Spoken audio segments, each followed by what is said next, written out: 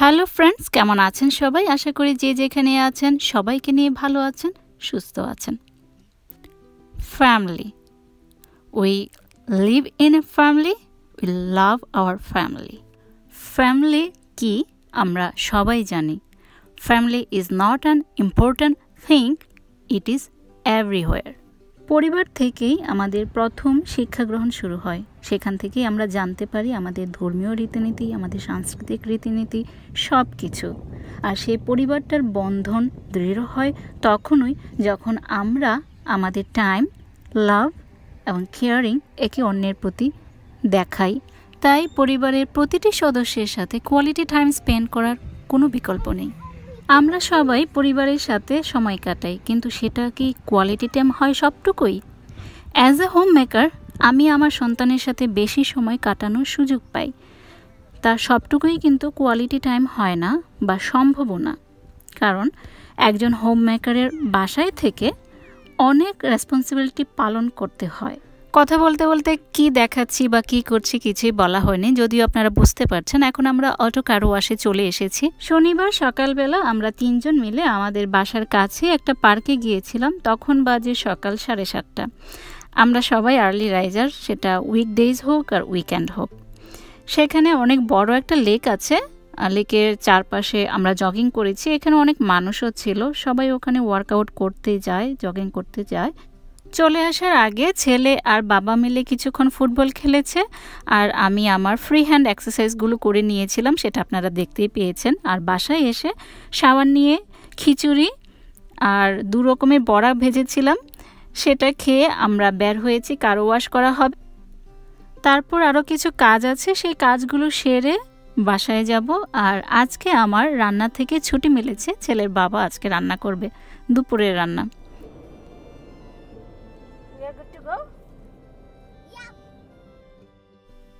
আমরা এখন সকালবেলা যে পার্কে এসেছিলাম জগিংয়ের জন্য, তার পাশের রাস্তা দিয়েই যাচ্ছি। আমরা এই পার্কে আগেও এসেছি, প্রায়ই আসি।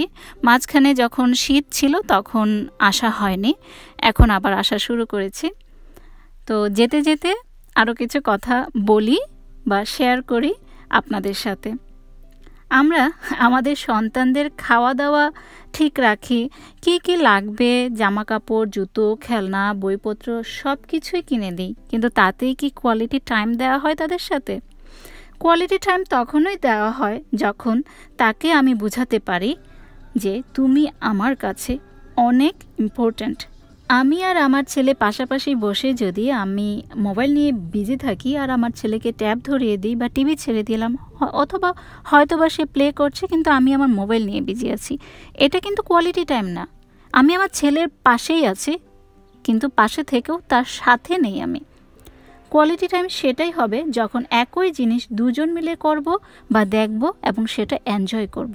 আমাদের এই যান্ত্রিক জীবনে আমরা খুব কম সময় পাই পরিবারের প্রতিটি সদস্যের সাথে কাটানোর। তাই আমাদের উচিত পরিবারের প্রতিটি সদস্যের সাথে কোয়ালিটি টাইম স্পেন্ড করা।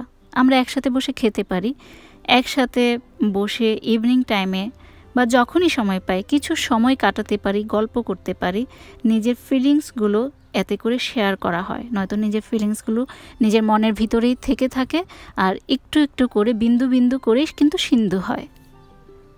পেঁয়াজের মুখের অংশ কেটে আমি পানিতে ভিজিয়ে রেখেছিলাম, প্রায় দুই সপ্তাহ হবে। আমার একজ্যাক্ট মনে নেই, তো সেখান থেকে পেঁয়াজ পাতার মতো বের হয়েছে, এখন এটাকে আমি মাটিতে দিয়ে দিব। এটা ফার্স্ট টাইম ছিল আমার, এখন আমি একটু বেশি করেই লাগাবো। আর পুদিনা পাতার যেন বুশি টাইপের হয়, সেই জন্য পুদিনা পাতার উপরের অংশটুকু আমি কেটে নিয়েছি আর মরিচের বিচি ফেলেছি মাটিতে। আর এখন চলে এসেছি আমার জন্য গ্রিন টি বানাবো। গ্রিন টি কীভাবে পারফেক্ট ওয়েতে বানাতে হয় এবং কখন আমাদের গ্রিন টি খাওয়া উচিত ওয়েট লস করার জন্য যারা মেনলি খেতে চান সে সব কিছু নিয়ে একটা ভিডিও আমার চ্যানেলে আছে, আমি লিঙ্কটা শেয়ার করে দিব। এখন চা নিয়ে আমি বারান্দায় চলে এসেছি। আমার বারান্দা এবং ছাদ খুবই ভালো লাগে, তবে আমেরিকায় বসে ছাদের কথা ভাবলে তো আর চলবে না, তবে আমার বাসার বারান্দাটা অনেক বড়, এটা আমার খুবই ভালো লাগে। কেমন লাগল আমার আজকের আয়োজন? কমেন্ট করে জানাবেন, প্লিজ। আর ভালো যদি লাগে, তাহলে প্লিজ একটা লাইক দিবেন, শেয়ার করতে পারেন। সবাই ভালো থাকবেন, সুস্থ থাকবেন। আর পরিবারের সাথে মেমোরি ক্রিয়েট করেন। বাই দেখা হবে, কথা হবে পরবর্তী ব্লগে